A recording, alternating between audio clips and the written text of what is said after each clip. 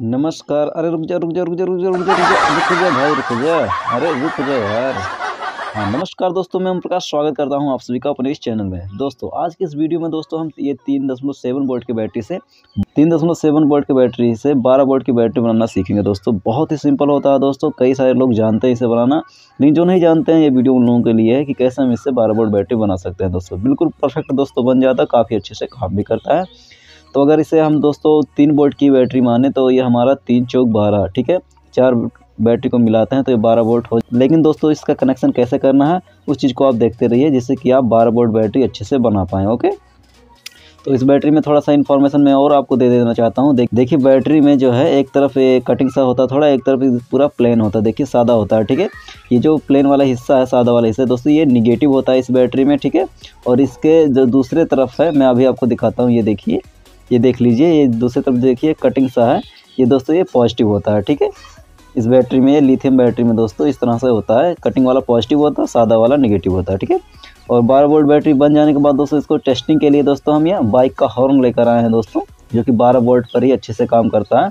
तो इससे हमारा यह बैटरी बनने के बाद चेक भी हो जाएगा, अच्छे से काम कर रहा है या नहीं ओके और दोस्तों, इस बाइक हॉर्न में हमने पहले से ही कनेक्शन कर रखा, आप देख सकते हैं। तो पहले हम एक सेल से चेक करते हैं, इसमें आवाज़ कैसी है, ये देख सकते हैं।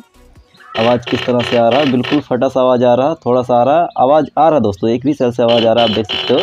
लेकिन इसकी क्वालिटी और अभी बारह बोर्ड बन जाने के बाद उसकी क्वालिटी आप देखना मतलब उसमें कितना डिफरेंस हो जाएगा ओके तो अभी आप देख सकते हैं सिंगल सेल से इस प्रकार आवाज़ हो रहा है। अब इसके बाद दोस्तों, जब इसे हम सीरीज़ में करके बारह बोल्ट बैटरी बनाएँगे, उसके बाद देखना इस हॉर्न की आवाज़ कैसी हो जाती है। ओके दोस्तों तो ज़्यादा देर ना करते हुए चलिए इसको हम बनाना शुरू करते हैं ओके सबसे पहले दोस्तों, मैंने चारों लिथियम सेल को एक लाइन में खड़ा कर दिया। इसके बाद दोस्तों, अपने सोल्डर की मदद से इसमें पेस्ट लगा के सोल्डर सोल्डर इसमें लगा ले रहा हूँ। ओके दोस्तों पॉजिटिव नेगेटिव दोनों पे लगा रहे हैं, जिससे कि हमारा जो कनेक्शन करने में थोड़ा आसानी हो जाए, कि फटाफट कनेक्शन हो जाए, ठीक है? यहाँ पे देख रहे हैं, कुछ इसी प्रकार हम पेस्ट लगा के इसमें लगा रहे हैं, कि फटाफट ये इसमें सोल्ड हो जाए। ओके दोस्तों, इसमें सोल्ड थोड़ा दिक्कत से होती है, लेकिन हो जाएगा, आप कोशिश करेंगे तो हो जाता है, ठीक है? कर ले रहे हैं। इसके बाद दोस्तों इसका जो कनेक्शन है, आपको पॉजिटिव निगेटिव पॉजिटिव निगेटिव करने के करना है। ओके दोस्तों, यानी कि इसको जो सीरीज़ में करना है, ठीक है? प्लस प्लस में नहीं करना है। अभी आपको मैं वन बाई वन करके सब कुछ दिखाने वाला हूँ। देखिए, पहले मैंने ये प्लस माइनस दो जोड़े को यहाँ पे सोल्ड कर लिया है ठीक है? और उसके बाद फिर दो दो जोड़ा बना दिया है। इसके बाद इनको भी सीरीज़ में कर देंगे, ठीक है? अभी लास्ट में मैं आपको कनेक्शन अच्छे से दिखा दे रहा हूँ कि इसमें कैसे पॉजिटिव निगेटिव किया गया है। ओके दोस्तों तो यहाँ फटाफट आप देख लीजिए, ठीक है? यहाँ पे देखिए दो दो का जोड़ा यहाँ पे बन चुका है, ठीक है? अब इसको भी अब प्लस माइनस करके कनेक्ट कर देना है। अब इन दोनों जोड़ों में से एक से पॉजिटिव और एक से निगेटिव लेकर आपस में सोल्डिंग कर देना दोस्तों, ये आपस में सीरीज़ में कनेक्ट हो जाएँगे और हमारा बारह वोल्ट सेल बन के रेडी हो जाएगा। अभी मैं आपको अच्छे से दिखाता हूँ। अब यहाँ पर आप अच्छे से देख लीजिए। देखिए, इस सेल का पॉजिटिव ये देखिए पॉजिटिव वाला कटिंग वाला हिस्सा है, ठीक है? इससे कनेक्ट हुआ है ये दूसरे वाले सेल के निगेटिव से। यहाँ पे देखिए, सब प्लेन वाला हिस्सा है कटिंग प्लेन और उसके बाद फिर यहाँ पे देखिए कटिंग पॉजिटिव वाला हिस्सा, इसके फिर निगेटिव वाले से, और फिर इसके पास यहाँ पॉजिटिव हुआ पॉजिटिव से फिर से निगेटिव ठीक है? अब यहाँ से हमें पॉजिटिव मिल जाएगा इस सेल से, और इस वाले, शुरू वाले सेल से यहाँ से निगेटिव मिल जाएगा, ठीक है?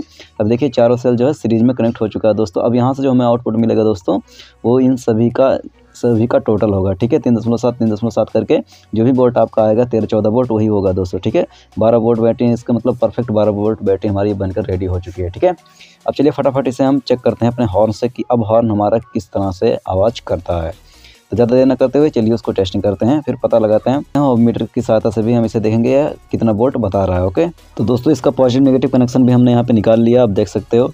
इसके बाद दोस्तों अपना हॉर्न लेते हैं और चेक करते हैं कि अभी ये किस तरह से आवाज़ कर रहा है। ओके दोस्तों तो ये हमारा बारह बोर्ड से ज़्यादा की बैटरी इसमें हो चुकी है। दोस्तों पूरा फुल चार्ज है। तीन दशमलव सात जोड़ेंगे तो करीब तेरह चौदह वोल्ट आएगा यहाँ ओके चलिए अपना हॉर्न लेते हैं। देखिए हॉर्न उसके बाद अब इसे चेक करके देखते हैं दोबारा से। अब ये कितना आवाज़ करता है। देखिए बार बोर्ड इस पर लिखा भी है। बार बोर्ड पर अच्छे से वर्क करता है। ठीक है? तो पहले एक्सेल से फिर से मैं आपको चेक करके दिखा देता हूँ कि आवाज़ इसकी कैसी है और फिर डायरेक्ट अभी बारह बोर्ड से आप देख लेना। तो ये देख सकते हैं, ये सिर्फ़ एक सेल का आवाज़ है, ठीक है? यानी तीन दशमलव सात बोल्ट का ये जो है पावर है, इतना इसमें आवाज़ कर रहा है, ठीक है? अब चलिए बारह बोल्ट से चेक करके आपको दिखाता हूँ। औसम यार, अब इसका आवाज़ आप सुन सकते हो, देख सकते हो कितना ज़्यादा आवाज़ है यहाँ पे तो। बहुत ज़्यादा आवाज़ हो रही है दोस्तों। तो फ़िलहाल दोस्तों मैंने मीटर भी खोजा तो मीटर मेरा इस समय मिला नहीं दोस्तों। बाद में इसका मैं वोल्टेज चेक करके आपको दिखा दूँगा। तो फ़िलहाल दोस्तों बारह वोल्ट से ऊपर की बैटरी बन चुकी है। आप इसके आवाज़ से पता लगा सकते हैं दोस्तों, क्योंकि बारह वोल्ट पे ही अच्छे से वर्क करता है और आप देख रहे हैं, यहाँ पे काफ़ी अच्छे से ये वर्क कर रहा है। तो आई दोस्तों, आपको इस वीडियो में ज़रूर कुछ ना कुछ नया सीखने को मिला होगा, और मज़ा भी आया होगा। तो चलिए मिलते हैं फिक्स नेक्स्ट वीडियो तक लिए। Bye bye